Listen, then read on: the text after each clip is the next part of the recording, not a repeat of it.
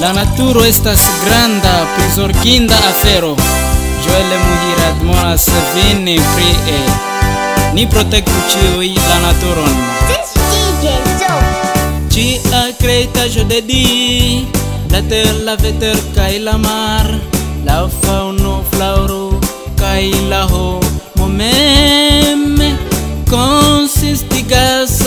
La duron se ne qui une place la vivo sur la terre ci a creta je dedi la terre la veter kai la mar la fauno flauro kai la homo mem consistigas la naturon c'est une qui une la vivo sur la terra.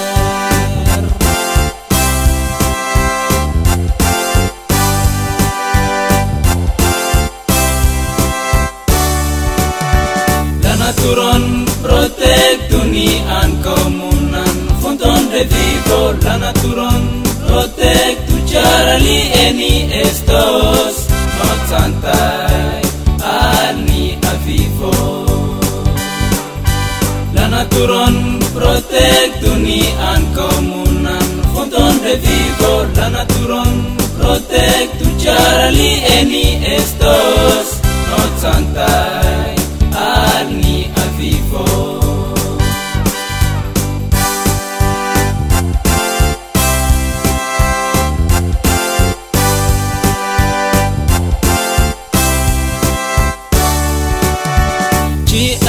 Pova vivesta De dependas net de si mem O moii bezonas să mangi trinki spir kaj neur La bestoj e sameĉumarai aŭ surteraj kaj ter dependețe verdaj elk kreskaĵo Chi aspir pova viversta, De dependas net de si mem. Omoi bezonas manĝi trinkis pirkaj ne nur La bestoj same ĉu maraj aŭ surteraj kaj interdependence verdaj elkreskaĵoj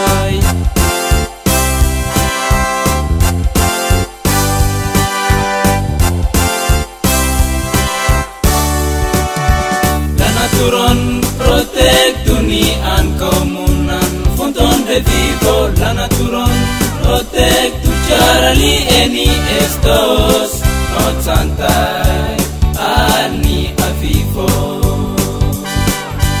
la naturon protektu nian komunan fonton de vivo la naturon protektu ĉar li eni estos No nocantaj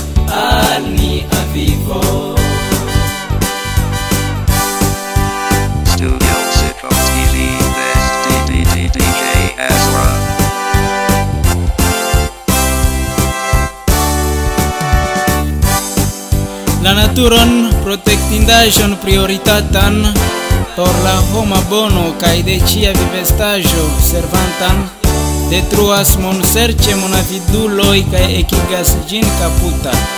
Mia demando, kiel la homoj e vivos se rezulte dekontraŭleĝa, Sen laarvigado de l arbaroj ĉi e estus nur klimato dezerta. Ni ja vivas interdependence sur tiu ĉi tero. Sen elkreskaĵoj akvo neblas manĝi kaj spi. La veterakva evoluluado fare industrioj multbligas diversajn malsanojn, iujn eĉ nekuraceblajn. La bestoj en siaj loĝejoj, parkoj bezonas prizorgon. la parkoj, kiel ekzemple tiu de virunga, el rucioro democratie a conglando e la tuta mondo servas divers campe por la homo ni protectu kaj belaspektigu la naturon pacio Herman de Seni Protektu nian comunan, fonton de vivo la naturon Protektu ĉar li eni estos nocantaj al nia vivo turun protek dunian kau